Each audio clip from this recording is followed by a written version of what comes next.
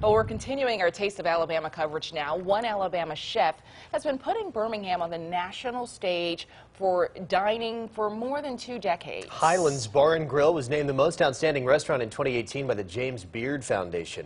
Tonight, our Michelle Logan sits down with Frank and Pardis Stitt to talk about their secrets to years of success.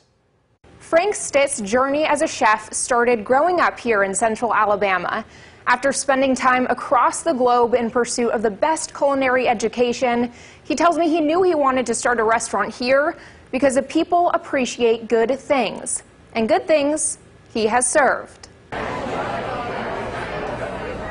The hustle and bustle of Bottega Cafe on a Friday afternoon is to be expected by its patrons. Like Birmingham is a foodie city, and like we're known for food. So I mean, anybody knows that like you, you need to go to like Bottega, Highlands, Fun Those are all the hot spots to go do things. Those hot spots.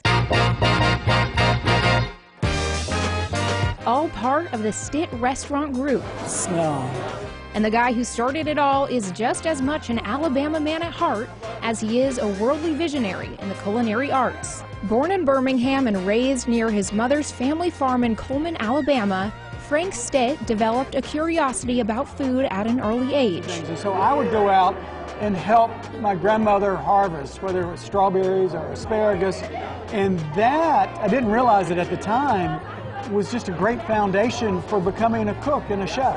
Developing a relationship with the food. Yep. Developing a relationship with the food and the farmers. That zeal for ingredients. One thing is love and care and respect, but love is the key ingredient.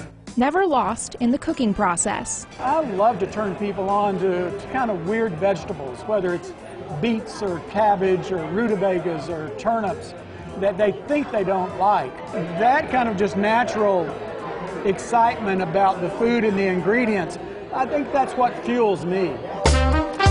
Stitt says the experience at the restaurants just wouldn't be the same without his wife, Pardis. she is concerned about every detail. She's certainly the, the, the, the secret weapon for us being a success whether someone comes to the bar, say at Highlands for a beer and three oysters, or it's someone who's spending, you know, hundreds of dollars on a bottle of wine in a larger party, each of them are, I mean, you know, both groups are very, very important, and we want them to be able to walk away feeling like, wow, that was really amazing. I can't wait to go back. The carefully and collaboratively crafted menus, ever evolving to fit whatever ingredients are ready to take center stage. And then just with salsa verde. I think our hope is really that they just come in and they, they, they feel touched. They feel our warmth and our sincerity of wanting to, um, to provide them with a really incredible experience. The Stitt restaurants run with a little love and a standard of excellence, marked with the hustle and bustle of their patrons who keep wanting to come back. The scope of Frank and Pardis influence goes well beyond the walls of their restaurants. Many chefs who trained under the Stitts went on to open their own restaurants, like Brick and Tin and El Barrio. The Stitts say they love being part of the Birmingham food scene and have no plans to stop their unwavering effort for excellence. Reporting in studio, Michelle Logan, CBS 42 News, local coverage you can count on.